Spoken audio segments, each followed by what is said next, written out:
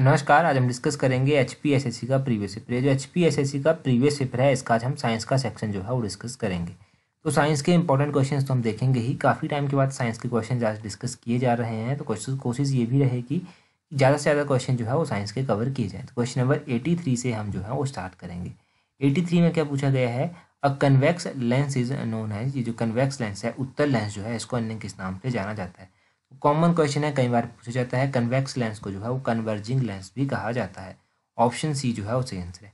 उसी तरह पूछा जाता है कि कनकेव लेंस को किस नाम से जाना जाता है तो कनकेव लेंस को जो है वो डाइवर्जिंग लेंस कहा जाता है। उसी तरह पूछा जाता है कि कन्वेक्स मिरर को क्या कहा जाता है तो कन्वेक्स मिरर को डाइवर्जिंग मिरर कहा जाता है। और कनकेव मिरर को क्या कहा जाता है कनकेव मिरर को जो है वो कन्वर्जिंग मिरर कहा जाता है। तो ये थोड़ा ऑपोजिट है और इंपॉर्टेंट है, जितना भी है याद रखिए। क्वेश्चन नंबर एटी फोर देखिए। एटी फोर में क्या पूछा गया है? The penetrating power of x-rays is increase with the increase of its जो एक्सरेज होती हैं, उनकी पेनिट्रेटिंग पावर जो होती है, भेदने की जो क्षमता होती है, वो बढ़ती है, परंतु किसके बढ़ने के साथ? तो फ्रीक्वेंसी के बढ़ने के साथ उनकी पेनिट्रेटिंग पावर भी जो है, वो बढ़ती है। क्वेश्चन नंबर एटी फोर का ऑप्शन सी जो है, वो सही आंसर है। बस यहाँ से इतना ही याद रखिए, ये इंपॉर्टेंट क्वेश्चन है। डायरेक्टली इसी तरह से क्वेश्चन जो है, वो पूछा जा सकता है। क्वेश्चन नंबर एटी फाइव देखिए। ये भी डायरेक्ट क्वेश्चन है। यहाँ पर पूछा गया है in most of the liquid fuel rockets the fuel is जो अधिकांश द्रव्य इंजन रॉकेट होते हैं, उनमें कौन सा ईंधन जो है वो यूज़ किया जाता है? क्वेश्चन नंबर एटी सिक्स की बात करेंगे तो इसका एटी फाइव की बात करेंगे तो एटी फाइव का ऑप्शन सी जो है वो सही आंसर है। रिफाइंड कैरोसिन जो है वहाँ पर यूज़ किया जाता है। एटी फाइव का ऑप्शन सी सही आंसर है। क्वेश्चन नंबर एटी सिक्स देखिए, यहाँ पर पूछा गया है the energy obtained by sun and stars is known as तो जो एनर्जी होती है जो सूर्य की, सूर्य और तारों से प्राप्त की जाती है, उस एनर्जी को क्या कहते हैं? उस एनर्जी को जो है, वो स्टीलर एनर्जी कहा जाता है। ऑप्शन सी जो है, इस क्वेश्चन का सही आंसर होगा। ऑप्शन सी सही आंसर है। तो कई बार क्वेश्चन पूछ लिया जाता है कि स्टीलर एनर्जी का जो सोर्स है, वो क्या है? तो जो एनर्जी सन और स्टार से ऑप्टेंड होगी, वही इनका सोर्स भी है। क्वेश्चन नंबर एटी सेवन देखिए। अच्छा सूर्य की किरणों से हमें कौन सी विटामिन मिलती है? ये क्वेश्चन आप इसका आंसर कमेंट करके बता दीजिए। उस विटामिन का क्या नाम है और उसका केमिकल नाम भी आप कमेंट करके बता दीजिए। क्वेश्चन नंबर एटी सेवन देखिए। यहाँ पर पूछा गया है photographic film contain a coating of जो फोटोग्राफिक फ़िल्म होती हैं, इनके ऊपर परत जो चढ़ी होती है, वो किसकी होती है? ये भी कॉमन क्वेश्चन जो है, वो कई बार पूछा गया है। तो ये होती है सिल्वर ब्रोमाइड की। ऑप्शन ए सिल्वर ब्रोमाइड जो है, वो सही आंसर है। याद रखिएगा, जो फोटोग्राफिक फिल्म्स होती हैं, उनके ऊपर जो परत होती है, वो सिल्वर ब्रोमाइड की होती है। अगला क्वेश्चन देखिए एटी एट क्वेश्चन है। यहाँ पर पूछा गया है which among the following gives green colour in fire work ये जो पटाखे आदि, आतिशबाजियाँ आदि होती हैं, इनमें जो हरा रंग निकलता है, वो किसके कारण जो है, वो निकलता है? हरे रंग के निकलने के पीछे जो कारण होता है, वो होता है बेरियम कलराइड एटी एट का ऑप्शन बी जो है, वो सही आंसर है। बेरियम कलराइड जो है, वो सही आंसर अब ये दो क्वेश्चन एटी सेवन और एटी एट क्वेश्चन ये दोनों ही क्वेश्चन ऐसे हैं कि आप कई बार एग्ज़ाम में पूछे गए हैं और कॉमनली डायरेक्टली इसी तरह से कॉपी कर लिए जाते हैं। तो इन दोनों को ही याद रखिए। उसी तरह क्वेश्चन नंबर एटी नाइन देखिए। एटी नाइन में पूछा गया है baking soda is baking soda का आपको केमिकली नाम बताना है, किसको किस नाम से जाना जाता है। तो बेकिंग सोडा को जो है, वो सोडियम बाइकार्बोनेट के नाम से भी जाना जाता है। सोडियम बाइकार्बोनेट ऑप्शन डी जो है वो सही आंसर है सोडियम बाइकार्बोनेट के नाम से इसको जाना जाता है। ये बेकिंग सोडा का केमिकल नाम भी आप कह सकते हैं क्वेश्चन नंबर नाइन्टी अच्छा यहाँ से कुछ और भी चीज़ें जान लीजिए बेकिंग सोडा से। यहाँ से वॉशिंग सोडा भी पूछा जाता है। तो वॉशिंग सोडा को जो है वो किस नाम से जाना जाता है? इसको जो है वो सोडियम कार्बोनेट कहा जाता है। सोडियम कार्बोनेट वॉशिंग सोडा को कहा जाता है। कई बार एग्ज़ाम में जो है वो प्लास्टर ऑफ़ पेरिस का फार्मूला पूछ लिया गया तो प्लास्टर ऑफ़ पेरिस का जो फार्मूला होता है, वो होता है C A S O four half H two O तो ये प्लास्टर ऑफ़ पेरिस का फार्मूला होता है। क्वेश्चन नंबर नाइन्टी देखिए। नाइन्टी में पूछा गया है the raw material use for manufacturing rayon is ये जो रेयोन होता है, इसको बनाने के लिए कौन सा कच्चा पदार्थ जो है वो इस्तेमाल किया जाता है? तो उसको बनाने के लिए जो है वो सेलुलोज का इस्तेमाल किया जाता है। ऑप्शन सी जो है वो सही आंसर है। कई बार एग्ज़ाम में पूछ लिया जाता है कि रेयोन जो है, ये किस तरह का फाइबर है? तो ये सिंथेटिक फाइबर का एग्ज़ाम्पल जो है वो माना जाता है। सिंथेटिक फाइबर फाइबर जो है, इसके और कौन कौन से एग्ज़ाम्पल हैं? तो एक तो रेयोन हो गया, ये इसका एग्ज़ाम्पल है। नाइलोन भी जो है इसी का एग्ज़ाम्पल है और पॉलिस्टर भी जो है इसी का एग्ज़ाम्पल है। सिंथेटिक फाइबर के। ये आप याद रखिए, यहाँ से क्वेश्चन नंबर नाइन्टी वन देखिए। नाइन्टी वन में क्या पूछा गया है? Which one of the following insect does not show metamorphism during development तो निम्न में से कौन सा कीट ऐसा है जो अपने विकास के दौरान जो है वो कायांतरण नहीं दर्शाता है?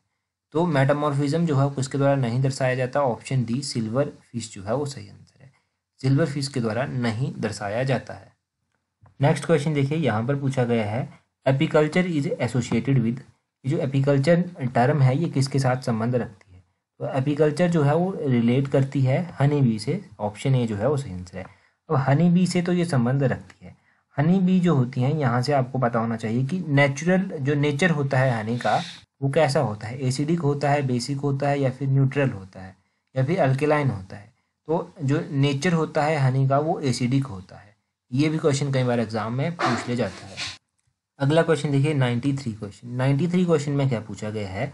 Poison gland in snake are situated on the तो सांपों में जो विष की ग्रंथि होती है, वो कहाँ पर स्थित होती है? ये स्थित होती है अपर जॉ में, जो उसका ऊपरी जबड़ा होता है, वहाँ पर ये पॉइजन ग्लैंड जो है, वो होती है। ये याद याद रखिएगा, ये इंपॉर्टेंट क्वेश्चन है। अभी एक आधी बार ही रिपीट हुआ है, परंतु पूछ लिया जा सकता है। क्वेश्चन नंबर नाइन्टी फोर देखिए। Which is also known as emergency hormone तो एमरजेंसी हार्मोन जो है, वो किसको कहा जाता है? एमरजेंसी हार्मोन जो है वो एडर्नेलाइन ग्लैंड को कहा जाता है। एडर्नेलाइन ऑप्शन सी जो है वो सही आंसर है। अब एडर्नेलाइन को कहा जाता है एमरजेंसी हार्मोन। अच्छा कई बार क्वेश्चन पूछ ले जाता है एग्ज़ाम में कि जो ह्यूमन बॉडी है उसमें लार्जेस्ट ग्लैंड कौन सी है? तो ह्यूमन बॉडी में जो लार्जेस्ट ग्लैंड है वो लीवर को कहा जाता है।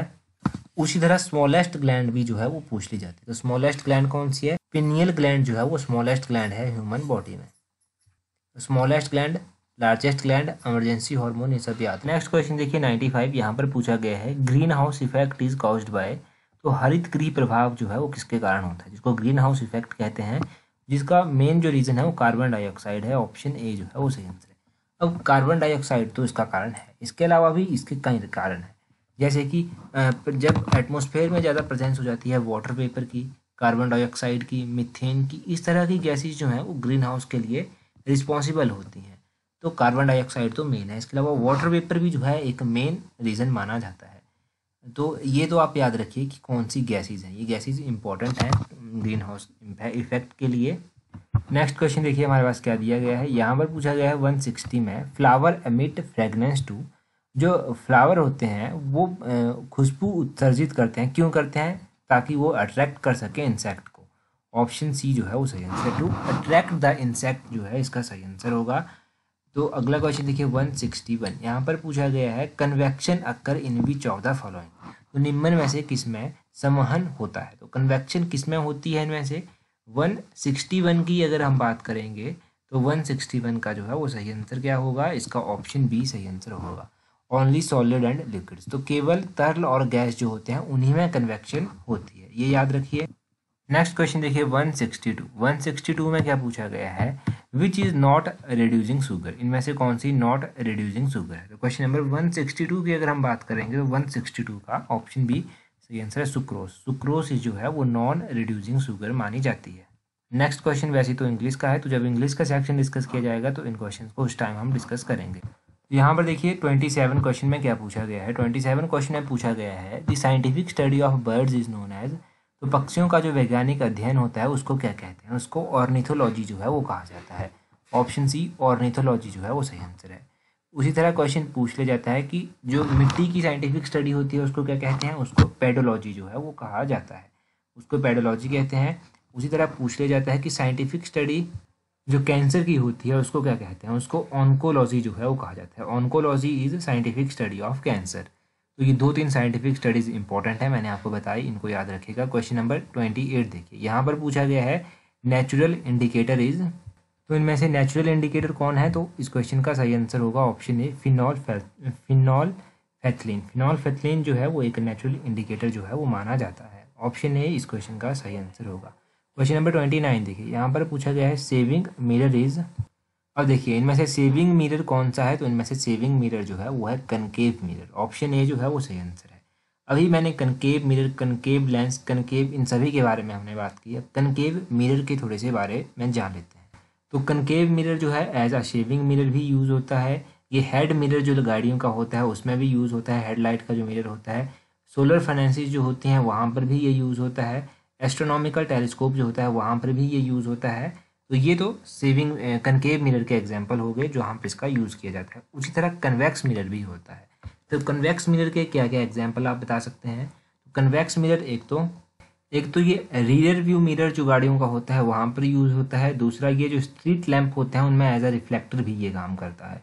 तो ये भी कन्वेक्स मिरर के बारे में एक दो चीज़ें आप याद रखिए। ये हो गया कनकेव मिरर कन्वेक्स मिरर के बारे में इंपॉर्टेंट बात। तो दो तीन पेपर हमने डिस्कस किए। एक दो पेपर तो ऐसे थे कि जिनमें दो तीन क्वेश्चन ही पूछे गए थे, परंतु साइंस की अब इन्होंने थोड़ी सी स्ट्रेंथ बढ़ा दी है। तो चार पाँच क्वेश्चन साइंस के पूछ लेते हैं। इसके अलावा देखो, अगर अभी तक आपने टेलीग्राम इंस्टाग्राम फेसबुक पर हमें ज्वाइन नहीं किया है तो इन सभी का लिंक नीचे डिस्क्रिप्शन बॉक्स में दिया गया है। आप इन सभी पर हमें ज्वाइन कर सकते हैं। और अगर अभी तक आपने चैनल को सब्सक्राइब नहीं किया तो जल्द से सब्सक्राइब कर दीजिए, ताकि आने वाली वीडियोज़ आपको मिल सके। That's all for today thank you thank you very much for watching and listening it very patiently